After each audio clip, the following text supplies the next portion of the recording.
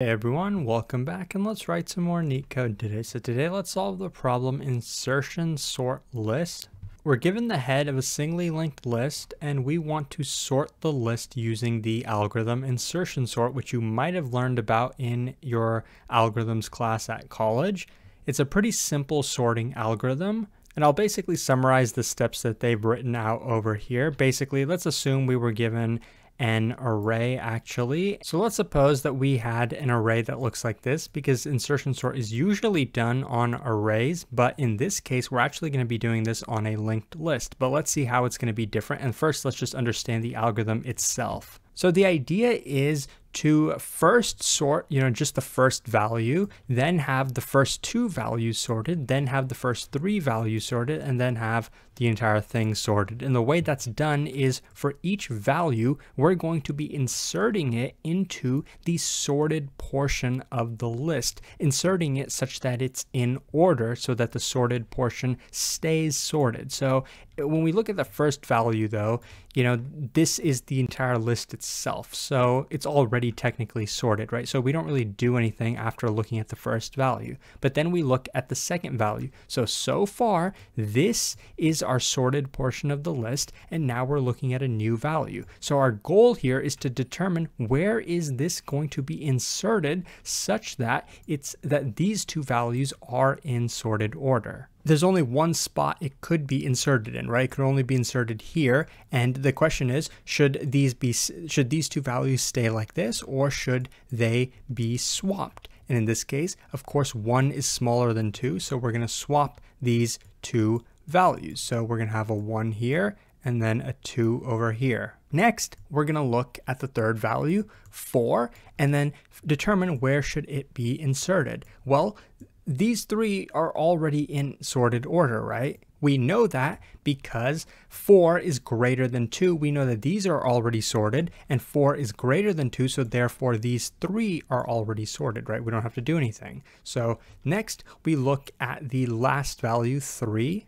And we know that these three are in sorted order, but now uh, when we see 3 and look at 4, we know 3 is smaller than 4, so it can be swapped with 4. For all we know, there could be another 4 over here, right? This could have been a 4. So the question is, how do we know that 3 is going to be inserted here rather than over here? Well, that's why we're going to keep iterating through the array going in this direction, right? We're going to see, okay, it's smaller than 4. Then we should look over here. Well, it's greater than 2. So therefore, it's going to go in between these two. So we can swap it with this value over here. And uh, once we do that, 3 will be here, 4 will be here. So insertion sort is not always a super efficient algorithm, which, you know, you can tell that uh, to find the spot to insert 3 into, in the worst case, we would have to look at every single value in the array to the left of it. So if we have to do that for every single value in the input array, the overall time complexity is going to be big O of n squared. That's the worst case time complexity, but the best case time complexity is actually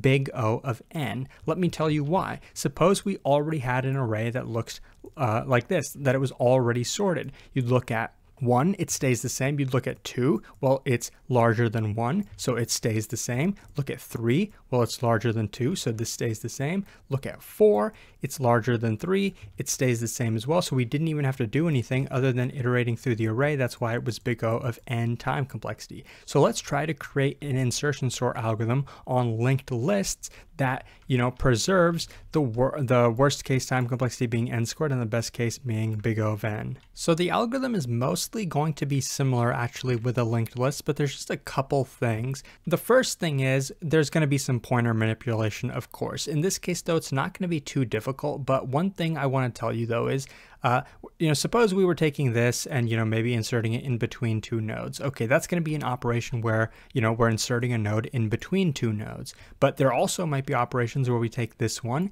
and then insert it over here, meaning that it's not going to be inserted between nodes, but it's going to be at the beginning of the linked list. That's going to be a different operation than in between two nodes. Plus, that means uh, the head of our linked list is going to be changing from this one over to this one. So that's just a bunch of edge cases that we'd rather not deal with, and you can prevent those by basically creating a dummy node. I'm running out of space on the left side, but uh, suppose we had some node that's actually the head of our list, but it's a fake head. Basically, what this allows us to do is remove those edge cases. So if we wanted to take this node, put it over here, it would be the same as inserting it as uh, in between two nodes, right? It would be the same as taking this node and putting it over here. So that removes the edge cases. Also, the head of our linked list wouldn't change, right? It would always be this node, but when we're actually going to return the result itself, we could just take this node and take the next uh, node after it and then just uh, return that portion of the linked list.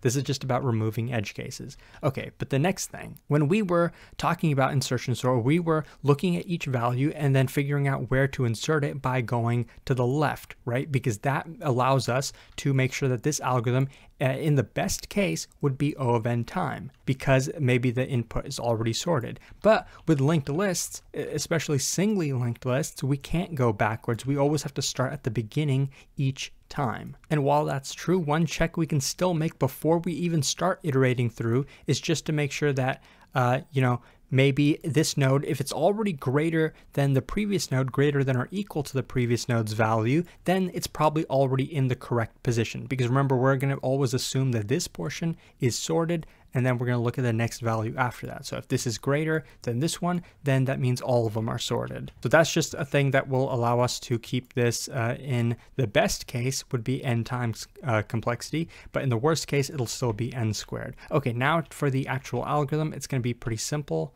The first node we're always going to skip because it's already in sorted order, but then when we look at the next one, we're going to first check, is this greater than 2? Nope, it's not. So then we're going to start iterating from the beginning of the linked list and then check, okay, is 1 smaller than 2? Because if it's smaller than 2, that means we can insert it right over here. And in this case, it is smaller, so we're going to insert it over there. But to do that, we're going to have to do a bunch of pointer manipulation. So this is the node we're at. We're going to take the previous node and take its pointer and then actually set it to be the next node after that. So that kind of hints that we're going to keep track of a current pointer, but we're also going to keep track of a previous pointer because it's going to come in handy for us. Also, as we're iterating through the, uh, starting from the beginning of the linked list to figure out where to insert the new node into, uh, you know, let's say we found that this is the target node, we're going to insert the node before this one. So we're going to need a pointer to this node and a pointer to the node that came before it because this is what we're going to do now.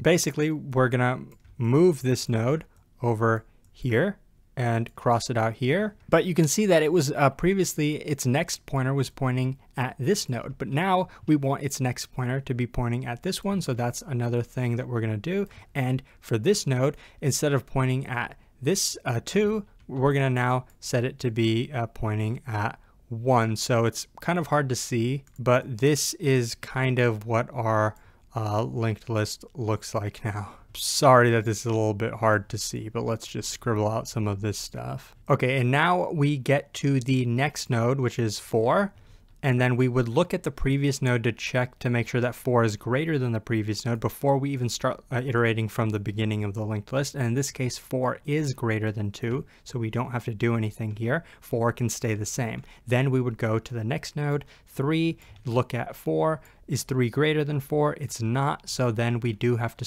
uh, take 3, start at the beginning of the linked list, and then figure out where to insert it. We would check that 1, uh, 3 is greater than 1, 2, 3 is also greater than 2. Then we'd get to 4. Nope, 3 is not greater than 4. It's less than 4. So we would insert 3 right before this 4. So we can kind of scribble it out here. We would update 4's next pointer to be pointing at the next pointer of this one, which was uh, previously pointing at null. So that's where this would go, point at null, and then 3 would be inserted in between this node and this node, just like we did previously. If I try to draw it out, I think I'm just to, you know, destroy this drawing, so I'm not to do that. But you can kind of see how the pointer manipulation is working out in this case. If you know how to insert a node in between two nodes, you probably know how to do this problem. Again, worst case time complexity is big O of n squared. We're not really using any extra space. We're just manipulating the pointer, so the space complexity is big O of 1. So now let's code it up. Okay, so now let's code it up. And the first thing we're going to do is just create our dummy node that I was talking about. And this is just to handle some edge cases for us. Uh, the first, uh, as you can see up above the constructor, the first parameter is just the value. We don't really care about the value,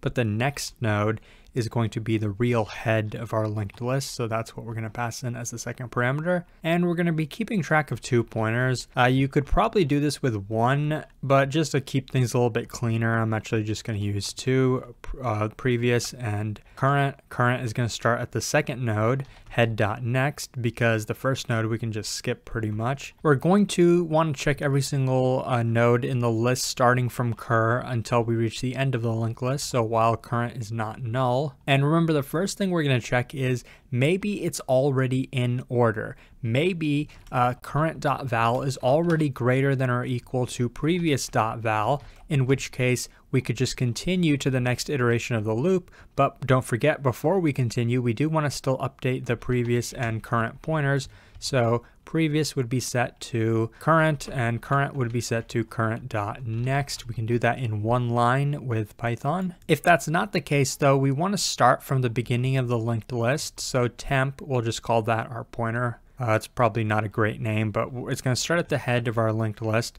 and we're going to keep iterating. This temp variable is basically to tell us what positions should we insert the current node into, because it's not already in sorted order. So, so what we're going to check is, have we reached a point where current.val is less than temp.next.val. And we're going to keep going while this is not the case. So while uh, current.val is actually greater than temp.next. That basically means that we need to continue to advance our temp pointer to temp.next to continue to find a spot where that we can actually insert this current node into. Remember, it's going to go after the temp pointer and it's going to go before the temp.next pointer. So that's why we're using temp.next here. So once that loop has stopped, we have found a spot to insert the temp node into. So what we can do is take our previous .next, which is currently pointing at cur, but set it to be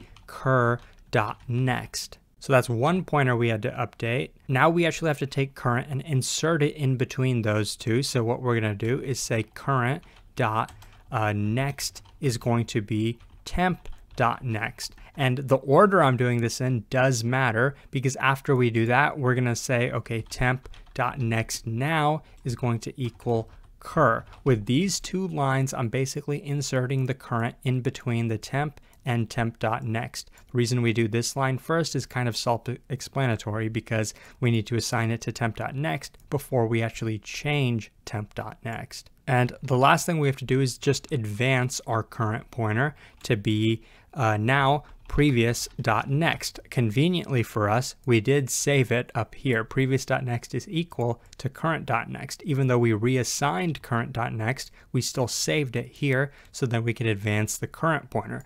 Notice we don't have to advance the previous pointer because uh, since we removed the current node, we, we took the current node and moved it somewhere else, the previous pointer can actually stay the same. So that's kind of one edge case that might not really be clear to you. Uh, so if it's not, I recommend kind of drawing it out. I think that's probably the best way to understand these linked list problems because there's a lot of pointer stuff going on. Uh, that's pretty much the entire code. So once that's done, we can return the head of the linked list, but it might not be the original head of the linked list. It might have changed, but conveniently for us, we have a dummy node. So we can return dummy.next, which will always have the head of the linked list for us. So let's run the code to make sure that it works. Oops, actually one thing I messed up is since we're always going to be inserting after the temp node, we should not assign it to the head, we should assign it to the dummy because it's possible that we might be taking this current node and actually inserting it at the beginning of the linked list, which would be right after the dummy node. So that's my bad, so sorry about that. Let's run it again to make sure that it works this time. And as you can see on the left, yes it does, and it's very efficient, so I really hope that this was helpful. If it was, please like and subscribe. It really supports the channel a lot. Consider checking out my Patreon, where you can further support the channel, and hopefully I'll see you pretty soon. Thanks for watching.